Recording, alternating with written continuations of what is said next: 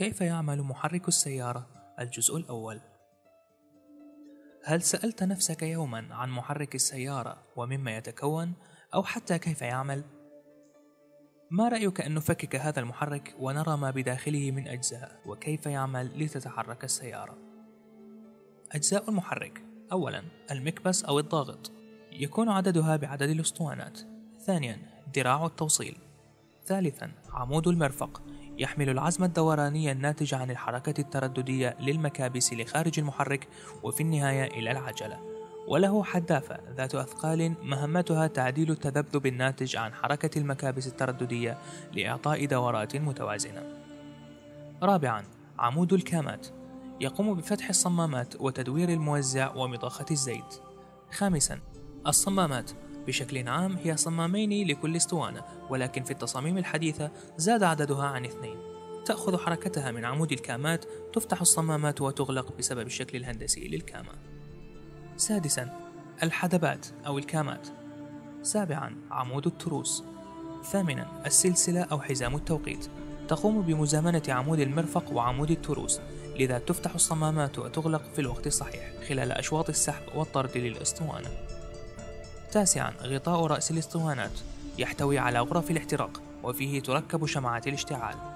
عاشرا الاسطوانات وتمثل غرف الاحتراق تقوم بتلقي الضغط المتولد ونقل الحرارة.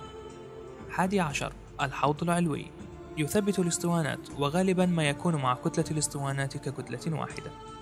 ثاني عشر الحوض السفلي يحتوي على الزيت. ثالث عشر غطاء الكولاس. رابع عشر أنابيب الدخول والخروج. خامس عشر العجلة. دارات المحرك. أولا دارة الوقود أو التغذية. وتتكون بدورها من ألف مصافي الوقود التي تستخدم لتصفية الوقود من الأوساخ ومنعها من الوصول إلى المغذي والمضخة.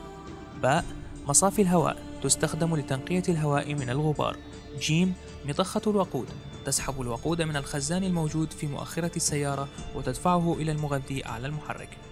د المغذي يقوم بخلط الوقود والهواء بنسبة معينة.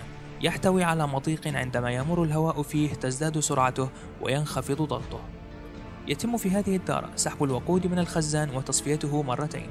المرة الأولى تصفية الوقود من الأوساخ والثانية تصفية الهواء من الغبار ومن ثم تسليمه إلى المغذي حيث يتم خلط الهواء والوقود بنسبة معينة وهي 14 إلى 1 حيث كل جزء من الغازولين يحتاج إلى 14 جزءا من الأكسجين. ثانيا دارة التزييت. أجزاؤها ألف مصفاة الزيت. تزيل الشوائب من زيت المحرك. باء خزان الوقود. يتضمن زيت المحرك.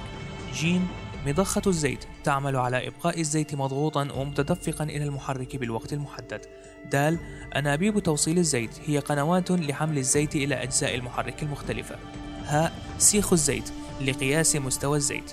يستخدم الزيت في تزييت الأجزاء المتحركة في المحرك كما يقوم بالتنظيف ويمنع حدوث الصدى ويضمن كفاءة الإغلاق ويبرد المحرك وذلك من خلال حمل الحرارة بعيدا عن الأجزاء المتحركة.